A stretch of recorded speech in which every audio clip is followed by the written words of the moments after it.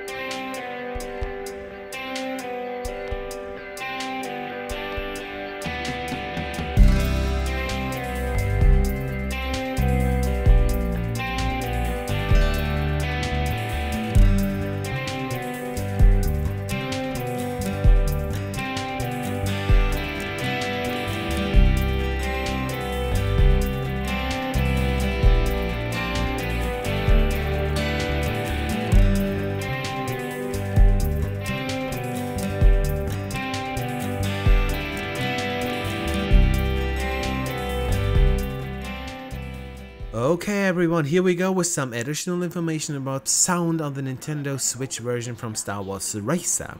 But first of all, did you ever watch Star Wars Episode 1 The Phantom Menace and watch the pod racer scene? Yes.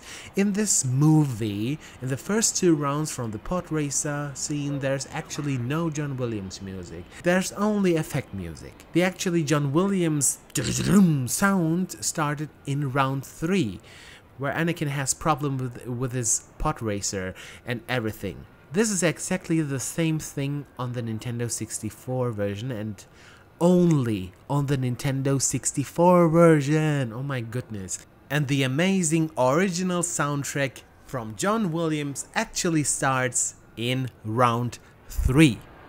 Just like in the movies. Oh my goodness. And this is only available in this form on the Nintendo 64. Not on Dreamcast, not on PC, not on PlayStation, not on Nintendo Switch.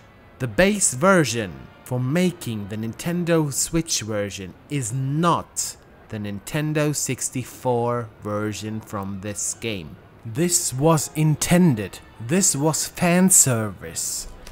This was something what they really wanted to do, and it was on the N64.